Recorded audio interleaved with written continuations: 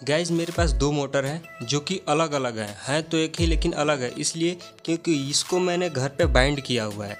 और ये जो मार्केट से आता है सेम वैसे ही है। और इन दोनों का मैं स्पीड चेक करके दिखाऊँगा आपको। तो आपको ध्यान से स्पीड को नोटिस करना है कि कौन सा सबसे ज़्यादा स्पीड चल रहा है। फिर आपको पता चलेगा कि बाइंड करने वाला अच्छा है, या फिर विदाउट बाइंड वाला अच्छा है। गैस सबसे पहले मैं नॉर्मल मोटर को चला कर दिखाऊँगा। तो आप इसकी आवाज़ को नोटिस करिएगा।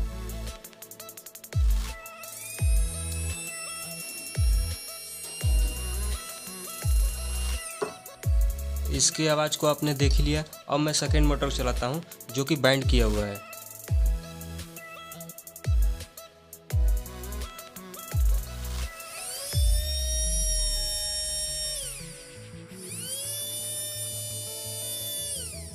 तो अब आपको बताने की ज़रूरत तो है नहीं, क्योंकि आपने दोनों मोटर का साउंड सुन ही लिया और स्पीड भी देख लिया आपने। तो चलिए वीडियो को स्टार्ट करते हैं।